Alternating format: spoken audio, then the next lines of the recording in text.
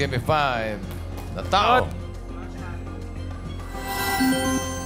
Madalas sabihin kung ayaw mong magpautang. Bagay, kung may utang sa'yo, ano ang sasabihin mo kung ayaw mo siyang pautangin? Okay, Okay. pwedeng sentence yan. Okay. 45 seconds, go. Walang pera. Ah, pera. Di pa sumasahod. Yun. Ah? Di pa sumasahod. Wala pang sweldo. Wala pa sweldo. Ayun, galing. ayun. Madalas mautangan siguro. May utang pa sa iba. Nice one. May utang sa iba. Okay, Tuloy. Pero nakakadalawa ka na. Okay na yan. Pasok natin. Come on, man. Come on, man. Come on.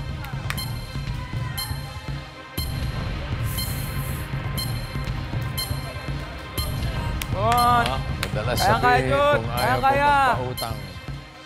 may mo utang. Come on. Kaya-kaya, Jun. Uh, Joshua, pautang naman. Eh, ano eh?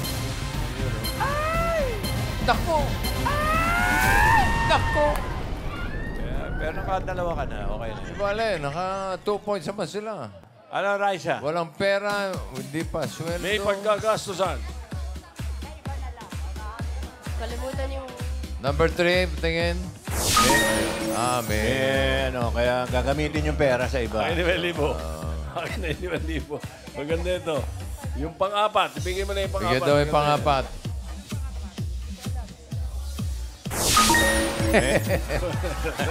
May nauna na. May Len. nauna nang nangutang. Mas maganda pa yung... Mas Lame. maganda pa yung panlima. Mas maganda pa yung panlima. okay. May nauna Oh, nang saan tayo nauna? nangutang. Dito, Karen. Dito po. Balik ka po bukas. Balik ka po bukas. Halika bukas.